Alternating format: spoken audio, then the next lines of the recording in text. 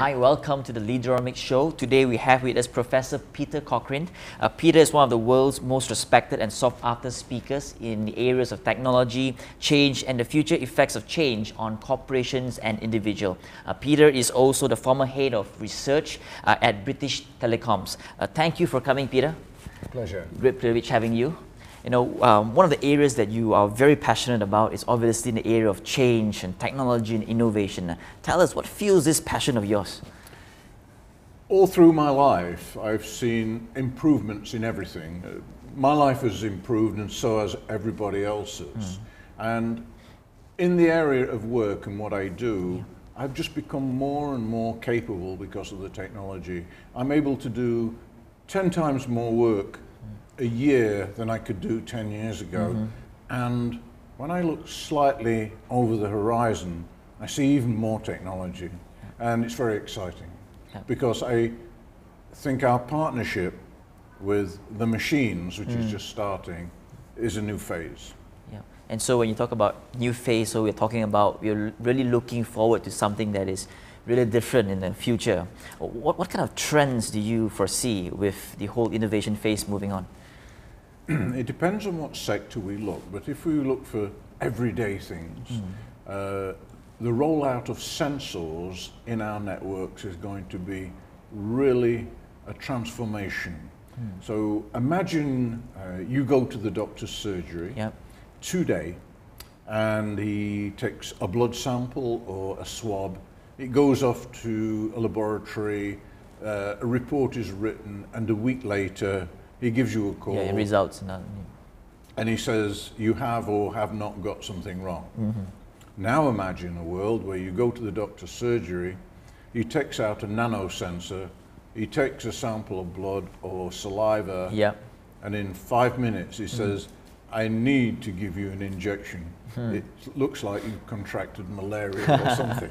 yeah. how, how, much better would that be? Yeah. Uh, in the one to two weeks when something is being diagnosed, people yeah. get very ill yeah. or not. Yeah. So that's just one area. Yeah. But I, I look at um, things that have changed us in the last five years, yeah. like social networking. That's right. So that sort of thing is interesting, mm. and we understand about the sociology of people, yeah. but we know nothing about the sociology of things. Mm. So here's a question why is my mobile phone with yours mm. today at this moment? What's the implications? So I think in terms of how do we leverage the metadata yeah. about our lives. Yeah. That's what excites me. Yeah. That's where there is a lot of business. Yeah. So we're talking about a lot of change that is happening in the area of technology, and how, how do you think it affects even the whole area of politics and uh, education? Well, one of the unfortunate things that happened around about the Reformation, mm. we, the European Reformation that is, uh, education was put into silos. Mm. And, and, so you had physics, chemistry, biology. Yeah, that's right. Mathematics. Actually, there is only science. Mm. So in a world that's becoming more complex, that's becoming multidisciplinary, hmm. I think the thing that's exciting about the technology is that if we can give people a fairly general education, yeah. then the technology allows us to get the specialist information yeah. online wherever we are. And suddenly we can be an expert on something in minutes. Mm.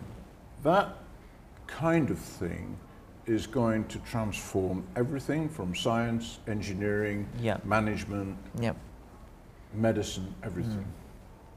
Mm. Right. That's interesting. Now, obviously, one of the, the key things, even for yourself, you are you are thinking as a innovative leader. You're always thinking change. You're always thinking what what cannot be done today can be done tomorrow, and you have that mindset of being a very innovative leader. Um, how do leaders actually adopt that kind of mindset in their leadership on a day-to-day basis? That's a, a really good question. Um, I think that there is a great tendency to focus on today's problem. Hmm and today is always today, uh, and not look at tomorrow. And, and that is a recipe for yep. things going badly wrong in a business. Yep. For sure, you have to look after the business, That's you right. have to look after the people and the customers, but you also have to think how do I take this business to the next phase? And That's it right. depends upon the business. Mm-hmm. So I ask the question all the time this piece of technology, if I was to use it, how would I benefit? Yeah. If I'm not going to benefit, then perhaps I shouldn't consider using it. Mm. But if I can see a great benefit from a technology, why am I not adopting it? Why am I not changing? Yeah. And if you ever stop doing that, I think that you will see your business go down. Yeah. I think that you will no longer be successful. Yeah. Because far from slowing down Yeah. and becoming less competitive, mm. it's going the other way. Yeah. So, in a world that's more competitive, that's international, that's networked, where change is faster, mm. I think you have to pay attention Mm. to the things that are beyond just today, Yeah. just the bottom line, just Yeah. the balance sheet. Yeah. And- And for the for the average leader out there, and that's that's always a challenge. We talk about change and innovation. Everybody seems to mentally agree with it. I need to change, and we need to do things differently. but somehow, when it comes to a, a day-to-day execution, and you're in the business, and and things are going on well, and human nature is that you tend to Be complacent. be complacent and say, Yeah. let's let's not rock the boat. Uh, Yeah. How do you help a leader break Well- out of that that, that mindset? I can only tell you what I do, and that is I attend five really good, thought provoking conferences every year around the world. I meet with other business leaders Yeah. and uh, other thinkers, and I am always challenging the base assumptions. I'm always thinking about what could I be doing? Yeah. Uh, how could I improve? How could I make a better contribution? And um, that thinking out of the box uh, is encouraged if you travel, if you talk with other people. Well, that's interesting. I mean, someone of your, your caliber and the experience that you have, and you still take time to attend talks and programs, you know, that, that shows a real um, hunger to learn and to, develop. Oh, yes. How, how important is that for leaders? You might find this very paradoxical, but I like to attend conferences where I know nothing. If I attend a conference where I know about the subject, then the education, the information, Yeah. change for me is very expensive. Now, if I go to a conference where I know very little, Yeah. then I get a huge amount of input Yeah. and it is worthwhile. Yeah. So I go to conferences when I'm invited, but I also attend conferences to learn about other sectors. Yeah.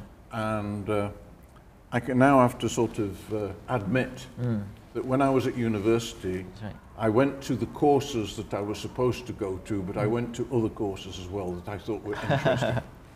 so the university I went to Yeah. uh, did not keep a tally on the number of students in the Yeah. room, so I would go and take extra courses without telling anybody. Yeah, great. And you're talking about universities and education. What's your take on the current way we educate our young people, and are, are we doing the right thing? You think?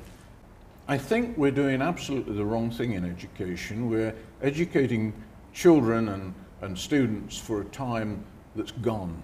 We're educating from the past.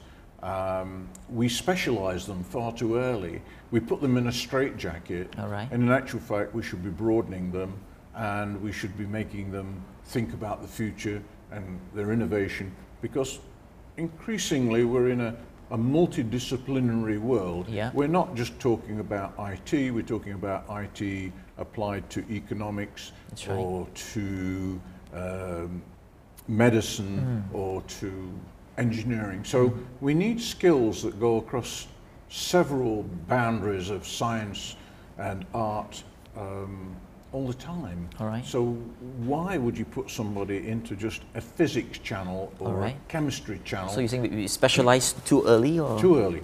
Um, I, I look at it like this. Uh, if you look at the physical world and you, you have a microscope that says physics, it gives you one view. Yeah. If you have a, a, a microscope that says chemistry, it gives you a different That's right. perspective. Um, in a complex world, very often Hmm. you need to apply biology, chemistry, physics, mathematics all at the same time. Yeah. And by the way, uh, if you want to get a, a rendition, you need an artist Mm-hmm. That's to right. make a picture Mm. or an animation. So we need skills that go across many borders. Oh, that's interesting. Thank you. Now, um, with your busy schedule, I, I noticed that you still find time to really enjoy a variety of activities, uh, like doing it yourself, uh, swimming, cycling, and we're talking Yeah. about sailing and fly fishing uh, Yeah. uh, a while ago. How important are these activities for you personally? How do you actually find time to do them? Well, it's, it's interesting. I've had a very concentrated life uh, in science and education and, and, and mathematics and engineering. And if you keep working and working, uh, there's a tendency to become dull. Uh, you, you get exhausted. And uh, my choice of hobbies and pastimes um, is less than subtle. When I'm fly fishing, I can't think about work. When I'm sailing, I have to concentrate on the boat. I, I pick things that are interesting, Yeah. uh, require skill, but I don't think about work when I'm doing them. Um, the reality is, a lot of the problem solving, the detailed problem solving, seems to happen in here sort of subliminally. You, you, you, you reach a, some technical uh, problem impasse and you think about it and you almost forget about it and all of a sudden the solution pops into your mind. Yep. Um, so I, I do a lot of that. I mean, one of my hobbies is solving really difficult problems. Okay. Okay, so, and it might seem an obscure thing to do, but um, they're very interesting problems. And uh, there are things that you think if we only had an answer to this, we could change things. And uh, I find all of that exciting.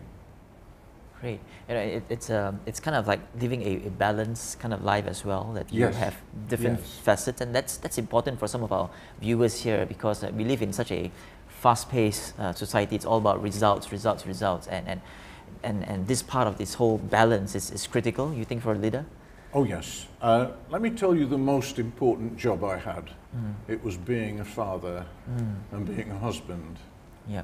Um, that is a huge responsibility. So I took those jobs uh, very seriously. Could I now do them better? I think so. Um, but when you have children, when you have a family, the next big important thing you do is employ people. That's right. So those are the key things. Now, uh, the business, uh, the sector, the country, humanity, uh, are all on your plate too. You have a, a wider responsibility, and it is about getting things in perspective.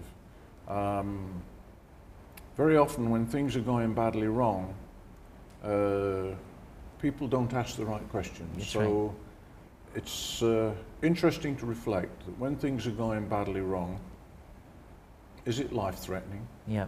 Are you going to die? Mm-hmm. What were you worried about last year at this time? Yeah. All those kinds of things. Yeah.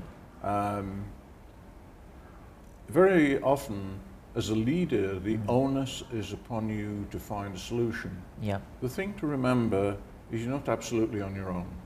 Mm. One, you have a team. Two, people want to help. And three, if you've been wise, you've also created a huge network of colleagues and friends that you can call upon. That's right. And, and that, I think, is a hugely powerful and underrated resource. Great. So I, I network a lot. Good. Right. So thank you, Peter. It's a great privilege having you on the show. My pleasure. Thank you. Uh, we've been talking to uh, futurist Professor uh, Peter Cochrane. Thank you for joining us on the show.